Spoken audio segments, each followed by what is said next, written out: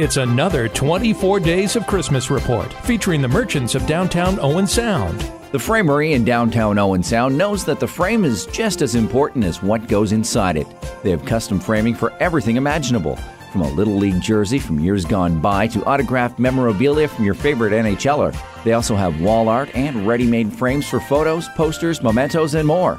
If you're looking for a one of a kind personalized gift and the most competitive pricing on framing in the area, the Framery is the place. And there's still time to place your order for Christmas. Locally owned and operated for over 29 years. The Framery, 868 3rd Avenue East in downtown Owen Sound. Two downtown Owen Sound businesses will have special offers each day. Tune to Mix 1065 at 8:18 a.m. and 1:18 p.m. Check the Owen Sound DIA Facebook page and visit downtown Owen Sound during the 24 days of Christmas. Our next featured business will be Grey Bruce Business Services.